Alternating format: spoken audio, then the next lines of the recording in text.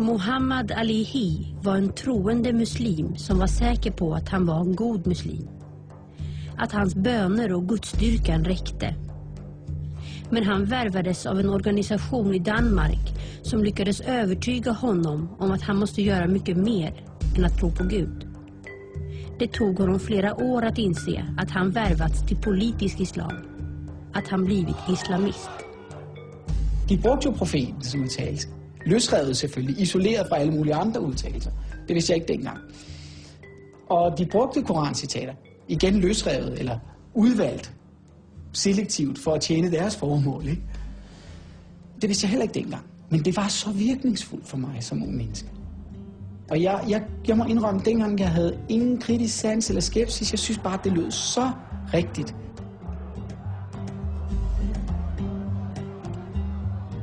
Ann-Sofie Roald och Pernilla Weiss insåg först efter att de hoppat av att de varit en del av en islamistisk rörelse i Sverige. Jag tänkte aldrig att jag jobbar för politisk islam. Jag tänkte att jag jobbar för islam. Va? Så det var aldrig någon som tänkte att det var ett politiskt projekt. Man bara tänkte att det här var, det var så det var, det var så islam var. Och så på den tiden så var det en slags urmedvetenhet. Men så efter, i eftertid så är det klart att man ser det på ett helt annat sätt. Man, man förstår egentligen de processerna man har varit igenom själv och också den processen som den islamiska utvecklingen har varit igenom. Det handlar inte om så kallade jihadister. De militanta extremister som alla tar avstånd från. I Sverige handlar det om de som marknadsför sig som representanter för medelvägen i islam och betraktas av samhället som en garant mot fundamentalism och extremism. Men vi har träffat avhoppare som säger att de har en islamistisk agenda.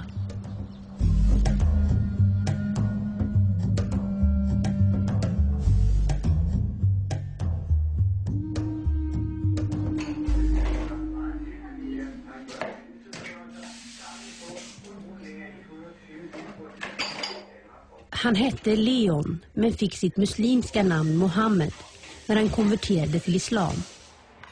Det började när han bara var tonåring med att han blev kär i en klasskamrat. En muslimsk flicka från Makedonien.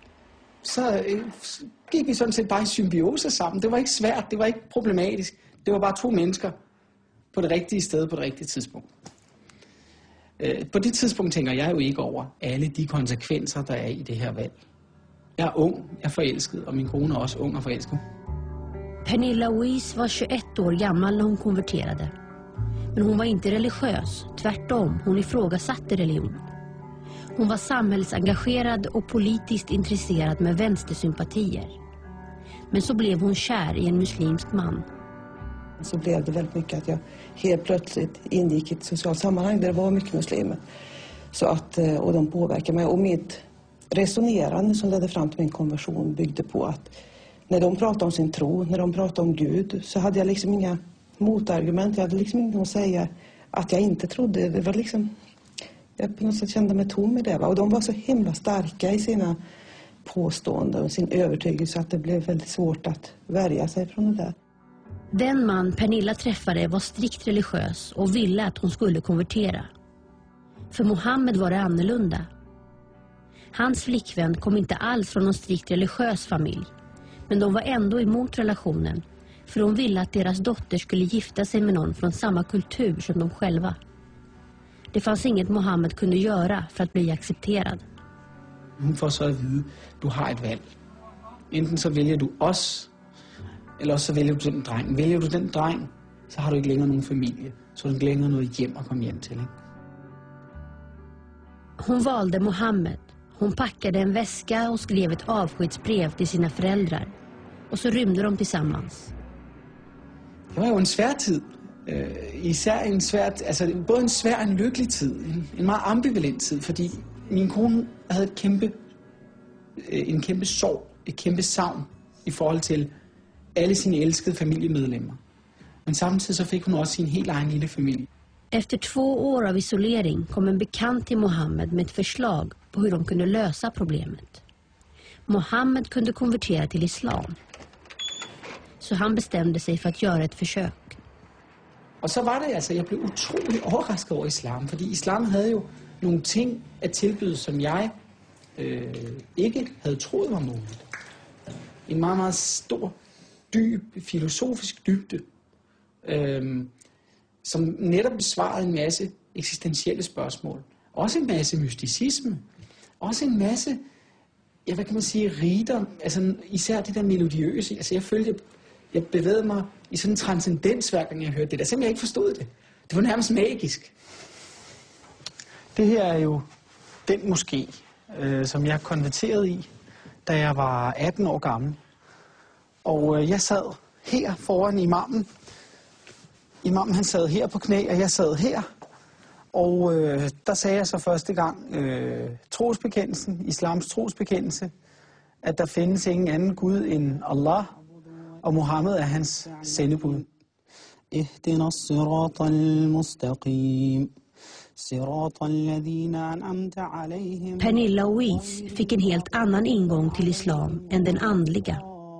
På något sätt så hade jag aldrig tänkt så mycket på religion. Det var bara att det provocerade mig och sådär. Men man började lyssna på dem och den här absoluta sanningsanspråken lockade en lite grann. Och det lockade mig också det här med att det fanns en politisk dimension i det här mot väst, mot eh, västerländsk imperialism, att muslimerna var missförstådda. Eh, att eh, man skulle alliera sig med den svaga gruppen på något sätt. Och det tror jag drev mig också in i det här. Och även för Ann-Sofie Roald, som hamnade i samma rörelse, var det framförallt politiska argument som lockade. Jag var ju i eh, väldigt politisk, jag hade ju en politisk engagemang. Så för mig så var det, alltså, det var en trosfråga men det var ju också väldigt en slags solidaritetsfråga med, med den tredje världen och med muslimer. I deras organisation låg fokus på regler, förhållningssätt och krav på hur de skulle leva och uppföra sig. Om Gud pratade man knappt, säger Pernilla.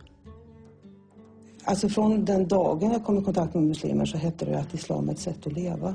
Islam är inte bara en tro. Va? Alltså tron på något sätt, vad Gud handlar om, andligheten var underordnad redan från början skulle jag säga. Det var inte liksom en andlig rörelse utan det var en social rörelse. Och det var idén om att, eh, att islam är ett heltäckande system ett, eh, ett, eh, som då tar in alla livets sidor, att det ska ha med det är politik, det är, det är religion, det är, det är alltså allt.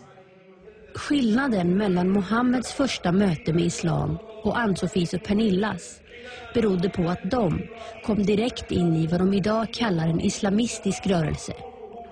Och där hette det att islam är ett totalt sätt att leva. Det var en ideologi med krav på hur hela samhället skulle se ut och med detaljerade föreskrifter för varje aspekt av en människas liv.